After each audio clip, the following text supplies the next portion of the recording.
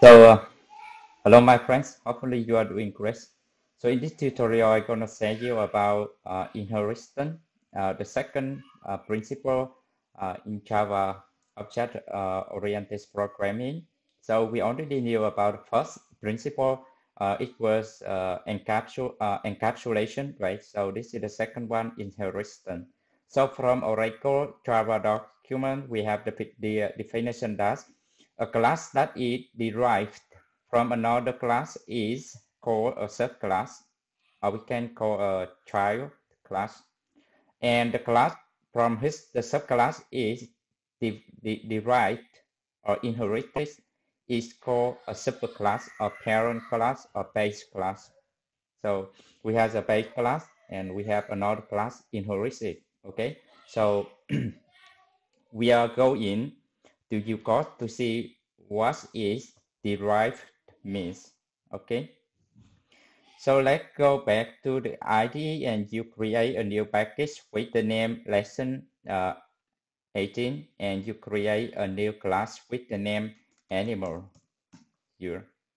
So it will be a very simple uh, um, very uh, basic thing here. Uh, an animal will have a name okay? So just declare something like private name as a string. And we will have private string maybe color.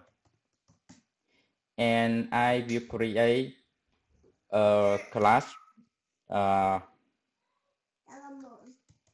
animal as public here. And we put string name and string color so I will set this dot name equal name and this dot color equal color. By the way sorry for any background noise around okay? Let me close the door. Okay so here we will have uh, something like um, public void uh, max out.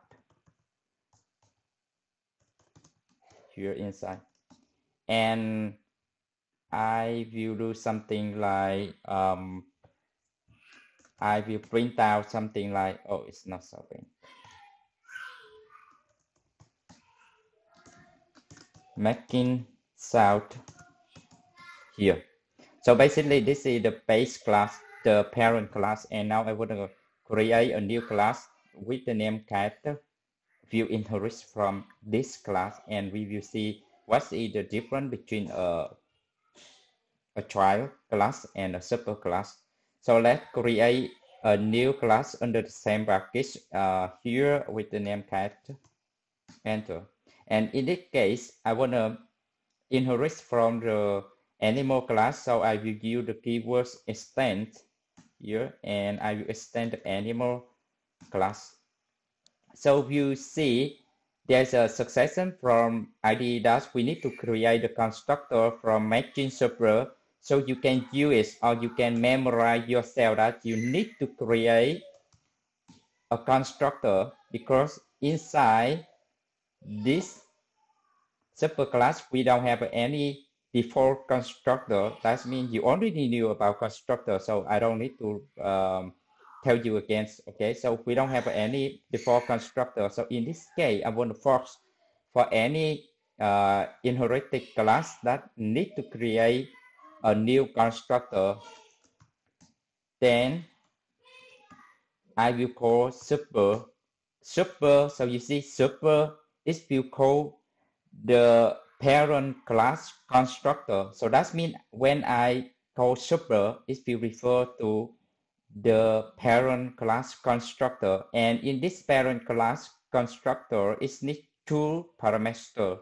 So that means you need to provide two parameters.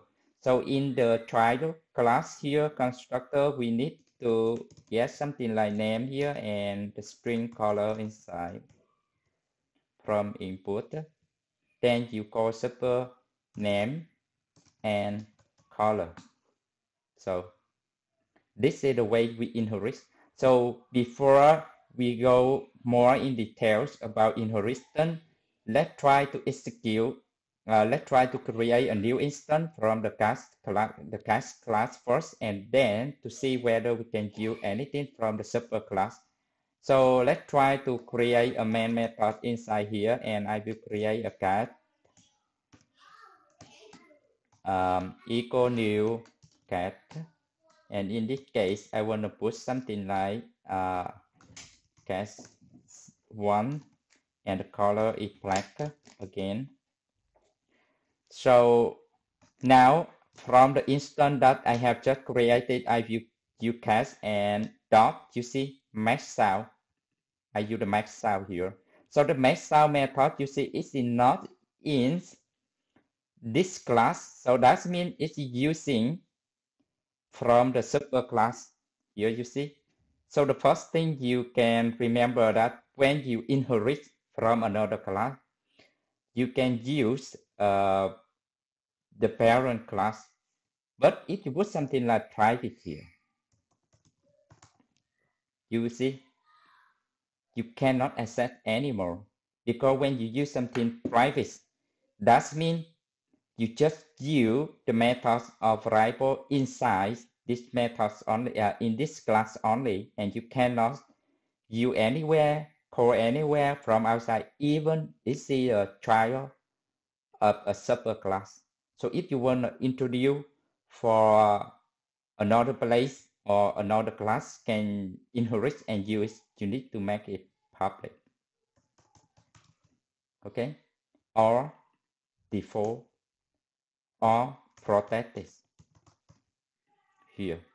So we will talk more about access modifier in details, but you need to remember if you want your subclass can use the method inside the parent, it should be default, uh, public, or protected.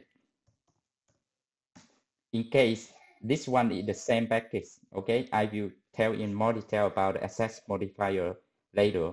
For example, if we have before or protected, there are some restriction if the subclass is uh, in another place. But you know, when we put something under a package, so that means all the related class should be under same package. So we can put protected is it is safe. But I mean, I will tell you in detail later. So just put it back to the public first, okay? And then now you run your program here, and then you see uh, making will be printed out here. You see, it's skill from making from the parent. So that means we are using something very common from the parent class. So because I think that this is common methods and any more that we are going to make, they can make a sound. But now I think in different so case will make some another sound, right? So I want to override so you already knew about methods overloading and now we will learn about method uh, overriding okay overriding so that means we are going to to override a, a, a method okay sorry uh, Okay, I think I can close the, the video. Sorry for that. Uh, okay, let me close the video. Uh, just a moment. Uh, okay. So now I will give the methods overriding. Sorry for the background noise. Okay. so I'm going to give the method overriding to override this method from the the parent class. So how can I do that? I will use something like publish uh, max sound max sound here and you see this is two things.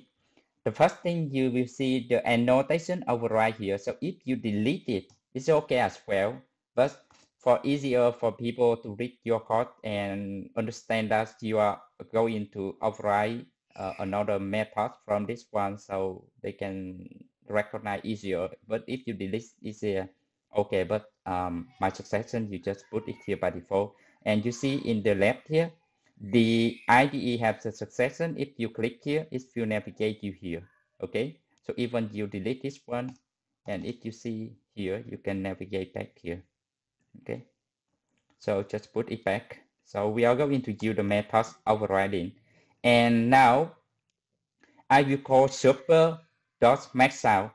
So if you call super is view and the function uh, and the double bracket here, that means you are going to access the, the, the parent constructor. But if you use super dot and the name of the method, that means you are going to execute the parent method here. So in this case, I don't want to execute anything from super. For example, uh, I will put something like uh, meow meow and then I run again to see and then you can see the difference uh, just control R and you see meow meow it's now meow meow so for example if I have another class with the name dog enter and then I extend from the animal class I just use the succession from IDE here and the name and the color here and then go into override the max out here. I will print out something like uh, wolf, wolf, something like that. Like this. Uh, I'm not sure. Okay, something like this. And then let me create uh, for example, let me put back in the main method here. It doesn't matter, so should be something like dog. Uh, should be equal new dog and with the name like dog 01 and color is the black again. Then the dog going to max some sound max out here. And then you run again this method you will see we have meow meow for for so that means you are going to use the same methods from the parent class but because you already override in the subclass so you can you know rewrite the, the whole logic inside. So for example if you put back something like you want to call something like super dot max out and then you run again you will see uh, making sound and then mail mail here. If I put something like super dot max sound can you guys go outside and play? Okay just give me the fallback give me give, give, just hey hey, hey Thomas Thomas give, give me the false okay thank you okay sorry for that just um this just playing around. Uh, okay.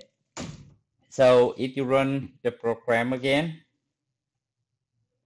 you see making sound, meow meow, making sound, whoa whoa. So the making sound here come from the default method. But after that, we try to rewrite something more. So we override it and then we have another thing. So just summary before we go more, okay? So you create a class and then you make something very common and you see that uh, something common and then you know we have animal we have cats we have dog and you say that um, any animals that you are going to create you have the out methods. So that means you have in the cat and in the dog we have the out methods. But inside we need to override something. So we call it the method overriding okay?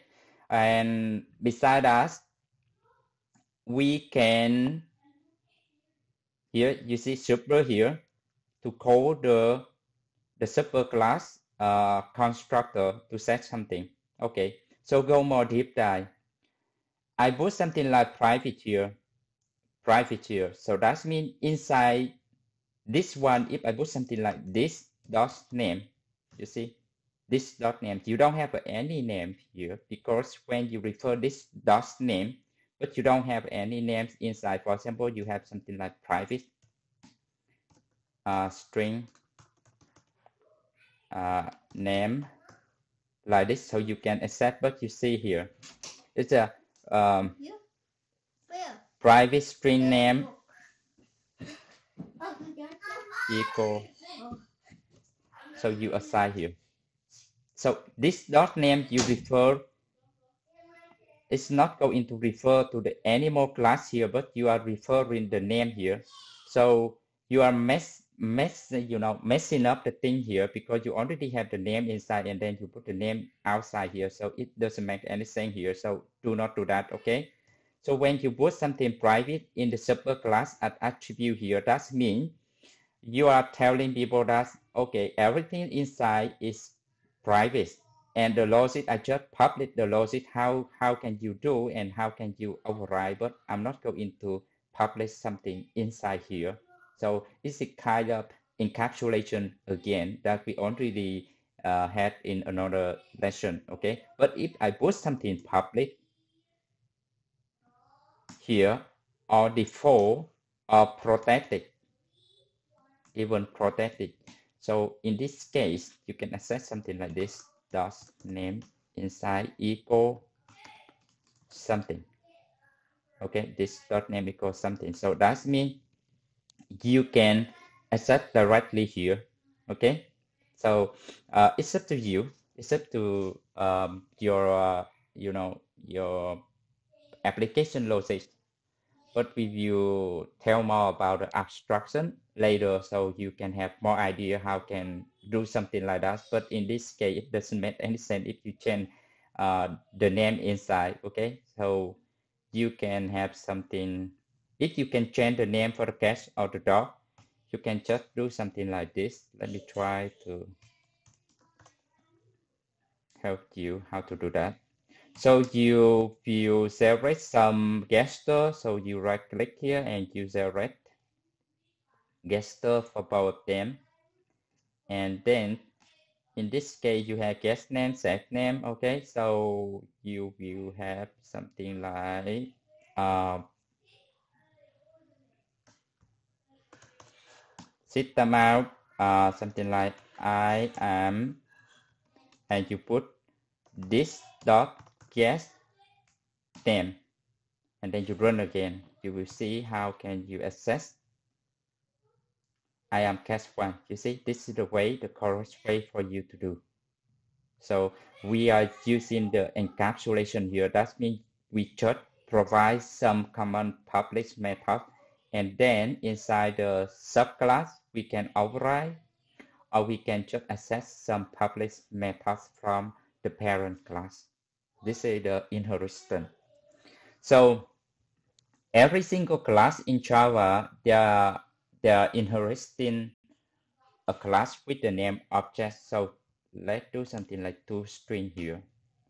And then you will see you are going to override something. But you see, this class anymore you didn't use the extend work. so why we have something like override here? So if you click here it will refer you to an object with the name object. So this class is the you know something like the parents of parents is it uh, every single class by default will inherit from this class okay? So if you have another class here and you extend from animal, but animal is extend by default from object class. So that's why when you put something like toString, uh, you are going to override the default method inside here. Go inside, you see return guest class name and something, but now you're going to override the logic inside with, for example, animal name and color, something like that. So if I try to do something like cast dot toString, now I will access to the toString of this animal class and I will print something different.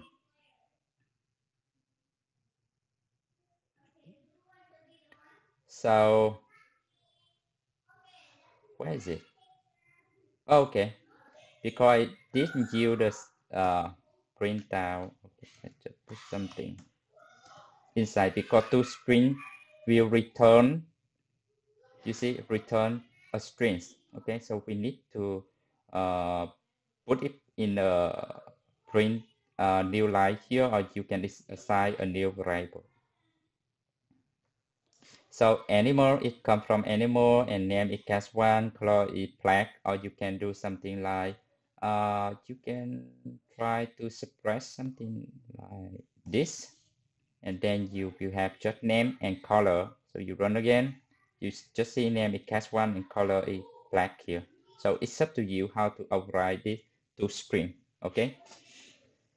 Um, let's see whether I have anything else to share with you. Okay, I think that's enough for inheritance in Java for you as basic, and then we will talk more about the abstraction later, and we will talk about inheritance a little again in abstraction. So the first thing, you create something very common, very common inside. And then after that, you use extend keyword to extend from that class. So this class, is a subclass and this is a superclass. So by default, a subclass will access some, you know, public uh, methods. It can inherit from the public method inside the superclass, but it cannot access something like private methods inside if you want to change something like uh, if you want to try to change some data for attribute inside, we can use getter, uh, ancestor. If you want to get out, you can use the, the getter here. So you already knew in the encapsulation lesson, okay? And let's say we can override a method from superclass based, based on our business as well. So by this way, you can have something like common and you can something like very specific in your class. So you can make another uh, class like um, public void. Um, so what is specific from a cat? Mm, uh, I don't think we have any specific here, but let's put something like um, a dummy uh, methods to just demonstrate uh, something like uh, because uh, I I couldn't think any specifics from a cat um, in the meantime, so just put something. This is a dummy method. So this method, you know, it's just only existing in the cat, not in the dog, because the dog is not inherit from the cat. So this is the way we can have some more specific in the case because dummy method is not something like common. So a dog maybe don't have don't have anything like dummy method inside. So we can have something like that dot dummy method inside. Okay, so it's up to you. You can make more methods inside based on your business requirement. Okay. This is the dummy method. Okay. So try to practice it and see you in the next tutorial. Uh, bye for now.